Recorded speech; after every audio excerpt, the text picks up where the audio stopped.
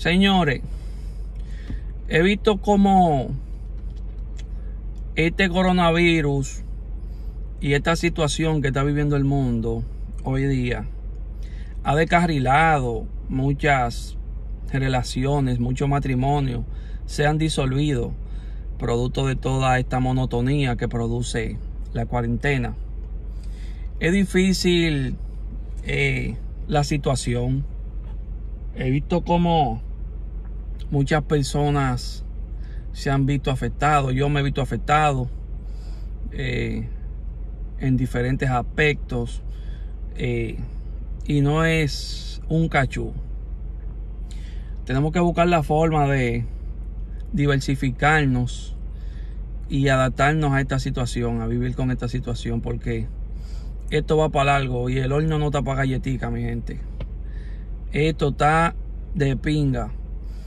Eh, le puedo aconsejar a las personas, a las parejas, de que, bueno, eh, traten de buscar una forma, pónganse a jugar baraja, cómprense un parche, eh, súbanse en, la azotea de la casa, invéntense un cucao, hagan algo porque eh, si se dedican a pensar en el encierro y se dedican a darle mente a todas estas cosas que nos están reprimiendo, porque somos un mundo que no está acostumbrado a ese encierro. Nadie quiere estar encerrado, señores.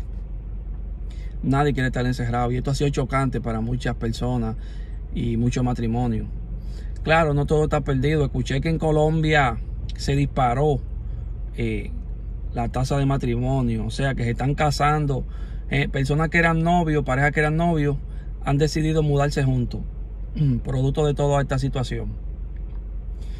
Pero eh, hay un alto índice de personas que se han divorciado, se han separado producto de toda esta situación, de todo este encierro que trajo consigo el tema del coronavirus y la cuarentena impuesta por algunos países.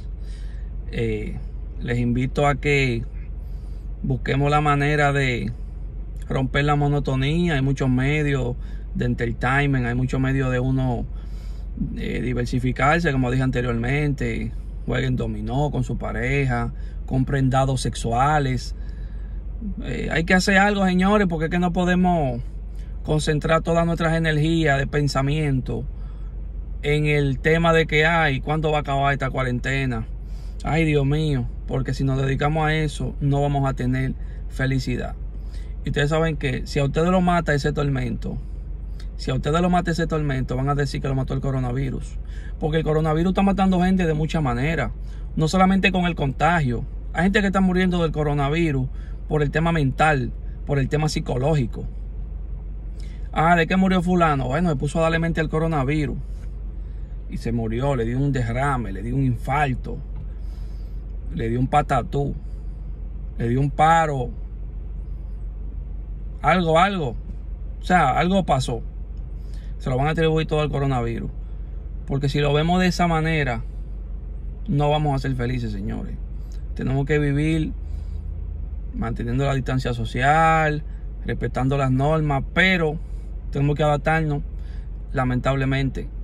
Tenemos que adaptarnos, porque si no nos adaptamos, estamos feos para la foto. Y ya tú sabes, muchachos. Entonces, nada, les invito a que como pareja se comuniquen, traten de buscar cosas divertidas. Hay muchos métodos, muchos juegos, eh, tanto sexuales como didácticos, para adultos, que uno puede a través de esos juegos dinamizar la relación y no dejar que caiga en la monotonía producto de esta situación que está viviendo el planeta. Así que ya ustedes saben, bendiciones. Ahí les dejo eh, para que se suscriban, eh, comenten en la caja de comentarios, cualquier opinión, cualquier sugerencia, cualquier idea es bienvenida, se lo agradezco. Y nada, ahí dejo los links para que sigan escuchando mi música a través de Spotify, Amazon y todas las plataformas digitales. Y ya ustedes saben, lo quiero mucho, bendiciones y que Dios lo bendiga. Y ya ustedes saben, díganle no a la monotonía. Vamos a buscar la forma, que nosotros somos demasiado inteligentes, mi gente.